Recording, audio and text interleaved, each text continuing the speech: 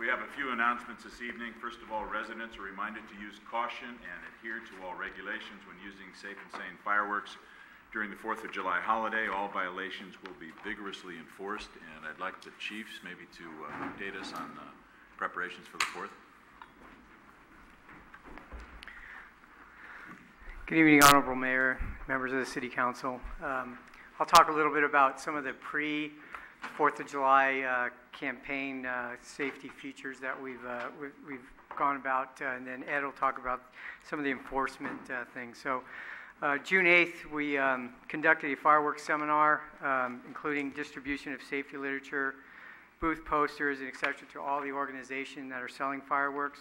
Staff also distributed about 300 warning posters to all city facilities, all public schools, private elementary and middle schools, both Capuchino, Peninsula High Schools, and also Skyline College. Uh, cable TV has been running 4th of July public service announcements um, all month, and beginning uh, this weekend, uh, all advertising on Channel 1 will be fireworks related. Uh, this month's City What message is fireworks related. Uh, beginning tomorrow, all the booths will be inspected. Um, fire staff will also attend a a great briefing by the PD uh, operations uh, led by uh, Chief Barberini on the evening of the 4th of July, and we'll also staff an extra engine um, on the 4th of July. Um, also, all the illegal fireworks that are collected by the San Bruno Police Department are turned in through other means. Will be, I mean, that will be turned in through other means. Will be collected, weighed, and transported to our magazine, uh, reported to the state, and delivered for disposal. So with that, I'll turn it over to Chief Barberini. Thank you, Chief. Uh, Good evening, Honorable Mayor, council members. Um, As the uh, Fire Chief mentioned, officers of uh, the San Bruno Police Department will be strictly enforcing the prohibited use of illegal dangerous fireworks, as well as the improper use of safe and sane fireworks in the days prior to and during the Fourth of July holiday. Uh, Police staffing levels have been increased to accommodate enforcement efforts, and officers will be deployed in marked vehicles, unmarked vehicles, on bicycles, and on foot uh, during the holiday. Last year, the City Council made some changes to the mu- municipal code that everybody should be aware of. Uh, Safe and sane fireworks can now be used from June 28th through July 3rd between the hours of 12 p.m. and 9 p.m., and from noon until 11 p.m. on the 4th. Uh, Safe and sane fireworks are only allowed on private property, and when used, should be a minimum of 10 feet from any structure or combustible material. Uh, Safe and sane fireworks are not allowed on any public street, park, school, parking lot, or any vacant area open to the public. The City Council has au- authorized the issuance of fines for violations of firework regulations. Individuals who violate the law regar- regarding safe and sane fireworks use or who are caught with dangerous or illegal fireworks are subject to arrest and/or a fine of up to $1,000.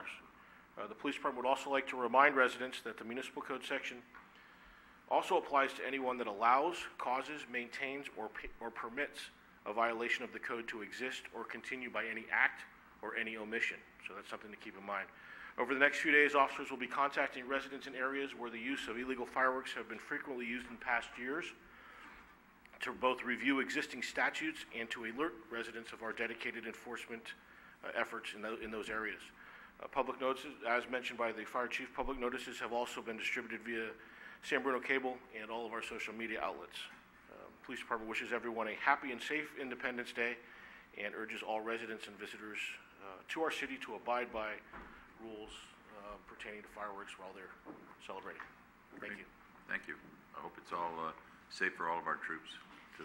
Very important. I just had one thing to add. Um, The difference between safe and sane and illegal fireworks is um, safe and sane fireworks are usually on the ground. They don't fly up in the air. Anything that flies or explodes is illegal. So just to be clear. So when you see those beautiful ones going up in the sky, those are illegal fireworks. Thanks, Chiefs. Appreciate it. Uh, Second announcement, due to a vehicle accident that caused damage to the San Bruno Senior Center, the city's senior center nutrition program will be relocated to St. Robert's Church Hennessy Hall on Oak Avenue until further notice. Senior programs will be held as usual in classrooms in the eastern part of the senior center building. And Carrie, would you give us an update, please? Good evening, Mr. Mayor and members of the City Council. I'm pleased to announce that all regular senior lunch services, programming, classes, and events have now resumed. The lunch service, along with dancing and daytime bingo, is offered at the St. Robert's Hennessy Hall. All senior center, uh, oh, excuse me, at the senior center, we are offering a variety of club meetings, classes, and Pedro. Because we needed additional space to accommodate all the activities that usually occur in this room and the room that we don't have access to, we are now offering tap and line dancing at the Recreation Center and yoga and Pilates at the Portola Performing Arts Center. We're asking uh, anybody that would like the specific schedule, addresses, and so forth to log onto the city's website at www.sanbruno.ca.gov. As we look forward over the summer, uh, shortly prior to the beginning of the school year and at the end of August, and once we conclude the delivery of the summer youth programs at the Recreation Center, we will be moving programming and the lunch service that's currently at St. Robert's and the services that are currently at the Portola Performing Arts Center to the Recreation Center. This will occur on Monday, August 21st. This will be the first date that we can actually use the Recreation Center because that'll be the first day where kids will be returning uh, to school or preparing for the school year.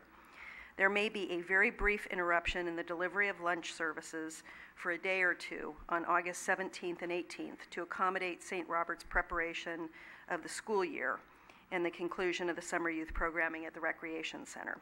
I mention this only to begin to give people uh, an idea of th- that we will transition from St. Robert's to the Recreation Center as soon as St. Robert's needs Hennessy Hall for the school year. We will publish and uh, use our phone tree to provide this information to seniors as that date gets closer, and we'll keep the council updated. Carrie, I know a lot of people have asked me, it it just happened uh, literally a few days ago, but uh, any idea length, is it, we talking four, five, six months? Are we talking, uh, you have any feeling for that at all? So we have a meeting tomorrow, uh, with- which includes the city manager, the city attorney, the insurance adjusters, and uh, David Woltering, the community development director, and Roy, uh, the chief building official. We'll begin to start to get an idea of that, and I'm sure the city manager will report to the council. Okay, very good, thank you. Do have one more announcement that wasn't on the agenda. If you all saw the food and home section of last Sunday's Chronicle, it highlights downtown San Bruno, calling it the home to the Bay Area's most diverse food scene. And so it's a wonderful article, and uh, it, it highlights, I think, eight or nine of the restaurants, but we all know there's many more down there than eight or nine. So it's a, it's an up-and-coming place. Uh, it is, if you're looking for diversity. And so it's a wonderful article and really highlights our downtown. So more to come.